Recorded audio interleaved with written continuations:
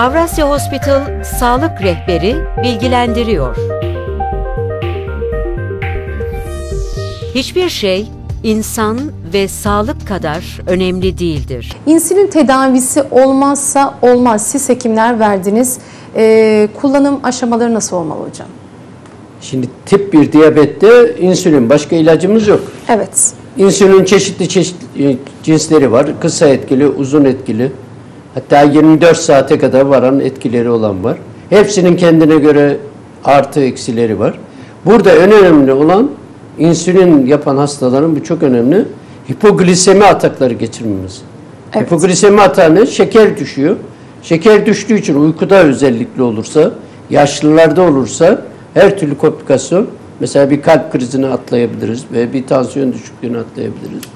Hipoglisemi çok önemli. Hipoglisemi olmaması için kısa etkiliyi daha çok tercih ediyoruz. Evet. Ancak mecbur kalırsak bazı hastalarımız yapamıyor haklı veya haksız nedenlerle onlara günde iki defa en az gerekerek yeni çıkan insülinlerden kullanabiliriz.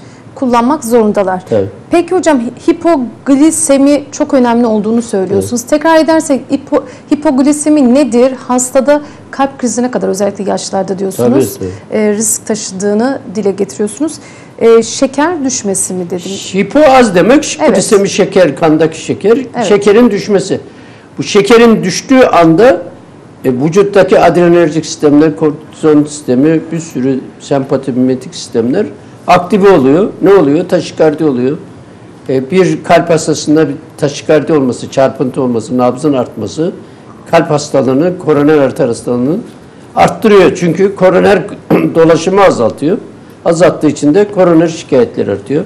Kalp yetmezliği varsa taşikardisi olursa normal oturur halde koşar gibi oluyor. Gene bir efor nefes darlığı oluyor. Onun için hipoglisemi bizim için çok önemli. Evet. Avrasya Hospital Sağlık Rehberi bilgilendiriyor. Hiçbir şey insan ve sağlık kadar önemli değildir.